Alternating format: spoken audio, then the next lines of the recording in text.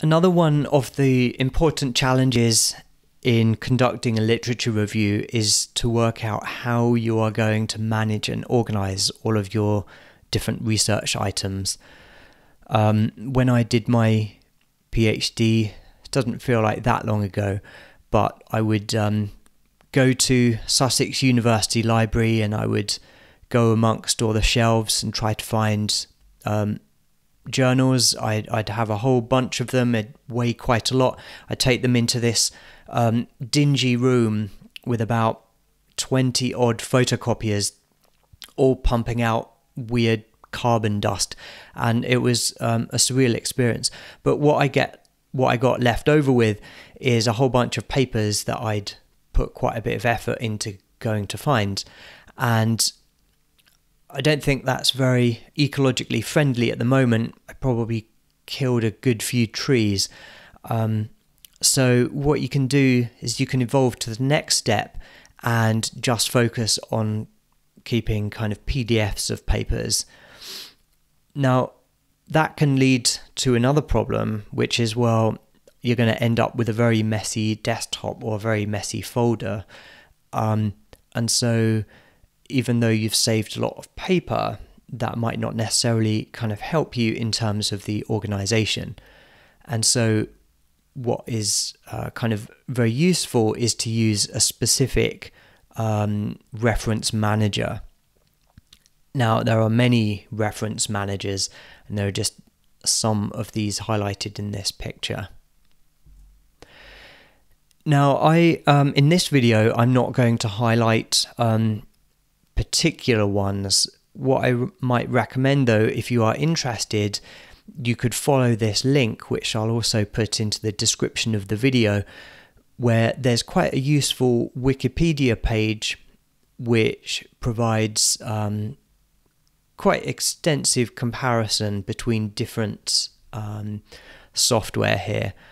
So feel free to go and have a look. Um, there are many different types. I would perhaps perhaps kind of restrict your search to some of the most kind of popular ones, and maybe I'll put some of my um, favorite ones or some of the most popular ones in the description of this video.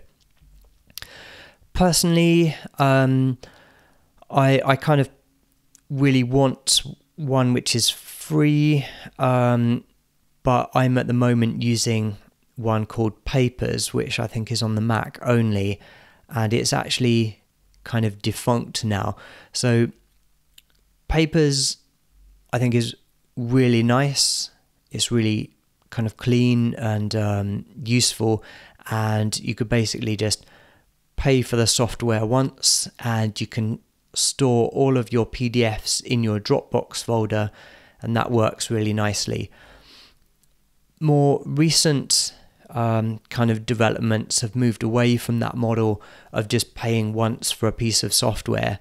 And instead, there's this some people like it, some people don't like it, but there's a tendency now to have this subscription model where you're paying um, two to five pounds or dollars um, a month potentially to have access to this software and what you what you get for that is storage of all your papers in the cloud. Um, that can be kind of really useful.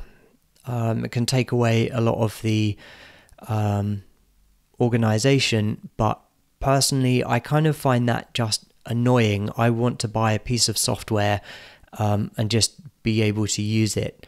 I don't want to have to keep on paying every month. Also, you know, if you're spending money, for example, on a cloud storage system like Dropbox or whatever it may be, you know, why can't I just store my stuff there?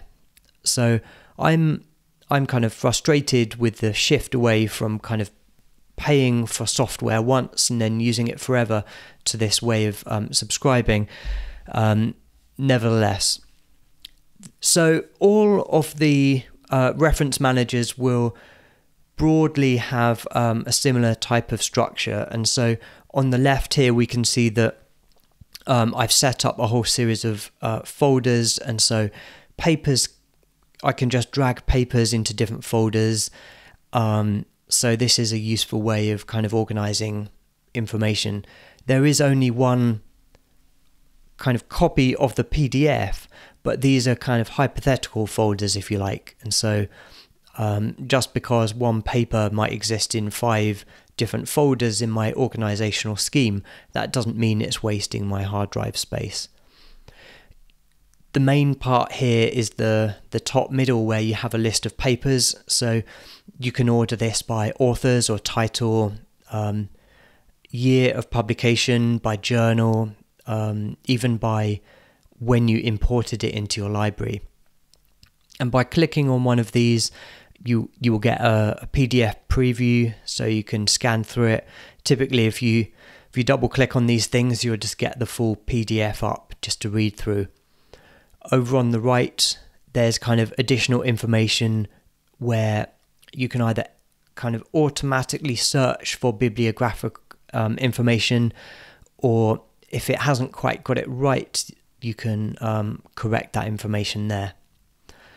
So, this was just a, a very brief overview of um, ways in which you can organize your um, your your research items when you're doing a literature review.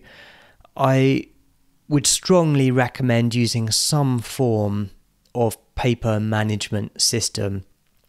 I'm probably going to do a separate video where I talk about um, the different ways in which those um, are useful. Here, I have emphasized um, managing the files and being able to search, but of course, there are other um, major advantages of using systems like this when it comes, for example, to creating your reference section. So, watch out for another video along those lines in the future.